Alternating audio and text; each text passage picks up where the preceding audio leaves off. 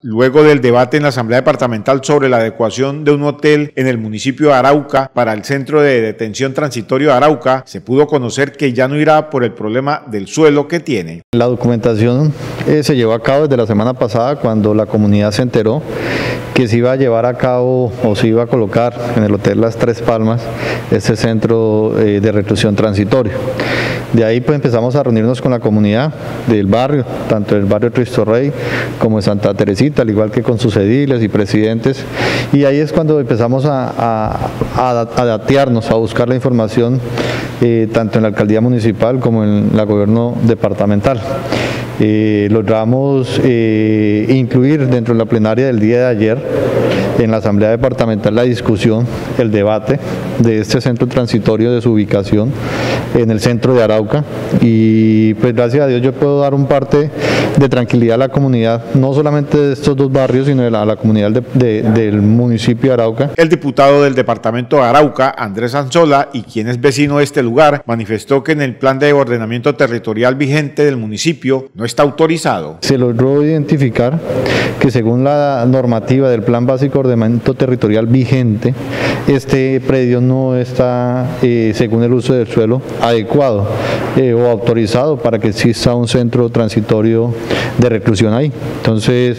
eh, fue un debate largo, un debate en donde eh, diferentes instituciones, tanto del orden, municipal como departamental y también como la policía, las fuerzas militares, la fiscalía, la personería, la procuraduría hicieron parte, igual el Consejo Municipal de Arauca, y, y pudimos lograr identificar esta situación.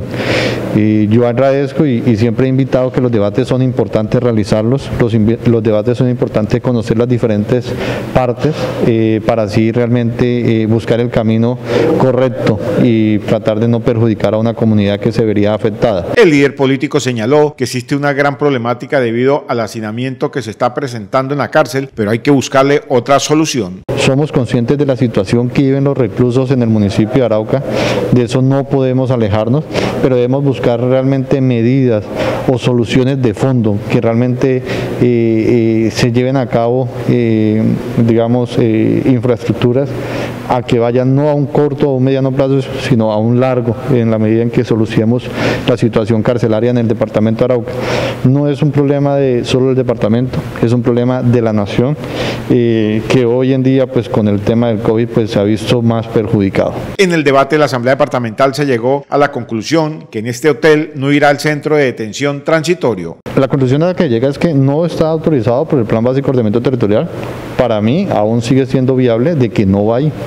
toca buscar, según las condiciones del Plan Básico de Ordenamiento Territorial del municipio de Arauca, en dónde debe ser, debe ser ubicado este centro de reclusión transitoria. El gobierno departamental solo dio a conocer la necesidad que se tiene en el departamento de Arauca por el hacinamiento carcelario. El gobierno departamental, eh, pues dada una necesidad, hay que eh, revisar también, pues ellos, ellos inician este tipo de acciones, eh, dado que hay una tutela, hay una, una providencia en la cual ordena eh, hacer el traslado de algunos reclusos eh, que están en esta situación en la estación de policía.